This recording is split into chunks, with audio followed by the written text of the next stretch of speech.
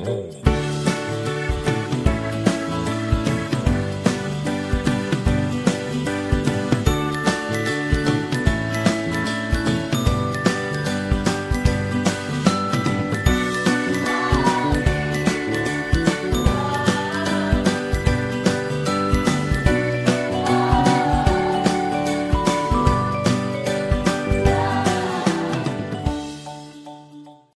Happy Sunday, everyone, and welcome to the third Sunday of the Advent season. We're going to continue on with the third part of the story of Christmas. So come along and join me. And she gave birth to her firstborn son, and she wrapped him in cloths and laid him in a manger because there was no room for them in the inn. Luke 2 7. Just before Mary was about to have her baby, Joseph had to travel to his hometown, Bethlehem, to pay taxes. Bethlehem was so full of people, there was no room left for them. A kind innkeeper said that they could stay where he kept his animals. That night, Mary had her baby. God's son was born in a stable. In the stillness of the night, he came, God's gift of Christmas, the one who would save the world. His mother wrapped him in cloths and lovingly placed him in a manger. Jesus calling. The message of Christmas is my birth. I gave up all the amazing riches of heaven to become a helpless baby.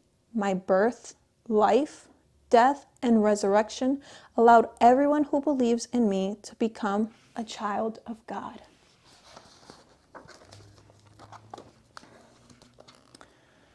This will be a sign to you.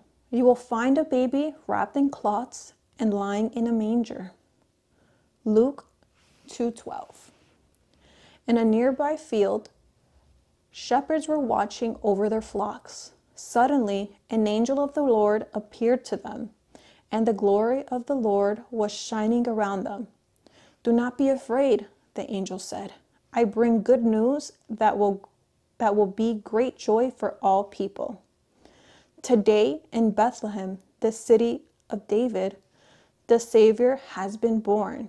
He is the Messiah, Christ the Lord.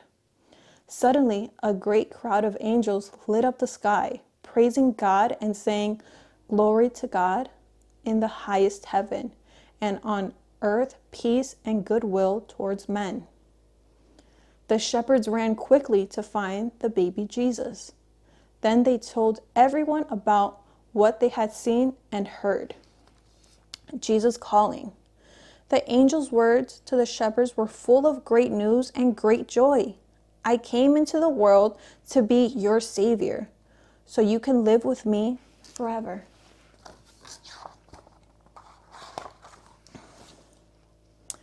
We saw his star in the east and have come to worship him. Matthew 2 2. Wise men from the east followed a bright shining star. They visited King Herod and asked, Where is the young child, the king of the Jews? We saw his star and we have come to worship him. King Herod was not happy. When you find him, tell me so I can worship him, he lied. The star led the wise men straight to Jesus, and they were filled with great joy. We have come to worship your son, they told Mary. They presented their treasure chests of gifts, gold, frankincense, and myrrh, and bowed down to worship him. Jesus calling. Christmas is a time to be joyful because it's when I came to this earth and lived in your world. I am the greatest gift, better than all the gifts you will ever receive. That completes the third part of the story of Christmas. You can come back next week on Sunday to hear the final part of the story of Christmas. Please don't forget to subscribe, like, and comment, and stay tuned for the lighting of the third candle, which is the rose candle, a warning to us that Christmas is almost near.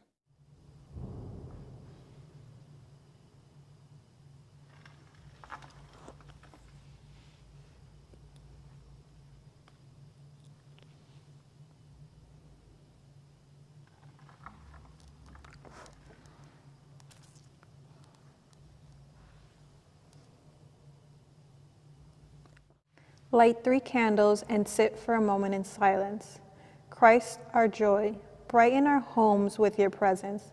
Clarify our vision so that we might see you in the people we cherish. Make every holiday activity an opportunity to spread your light and love. We await your coming with delight. Amen.